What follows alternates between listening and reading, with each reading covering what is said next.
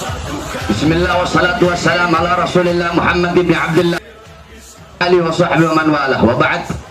Yang saya cinta yang saya muliakan segenap pengurus PA 212 segenap panitia penyelenggara reuni akbar dan mujahidah 212 para alim ulama, para habaib, para kiai, para asatid para tokoh masyarakat para aparat pemerintah beserta seluruh para mujahid dan mujahidah 212 yang dimuliakan oleh Allah subhanahu wa ta'ala.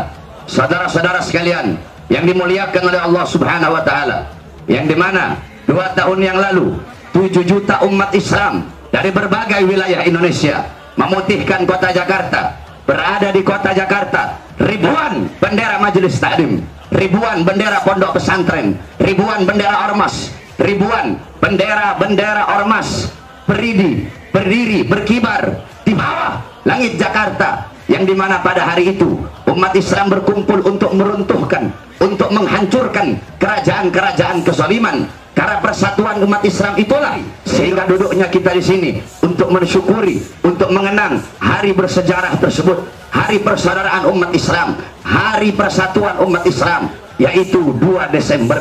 Maka kita duduk pada siang ini dari berbagai wilayah-wilayah umat Islam dari berbagai wilayah Indonesia kita duduk di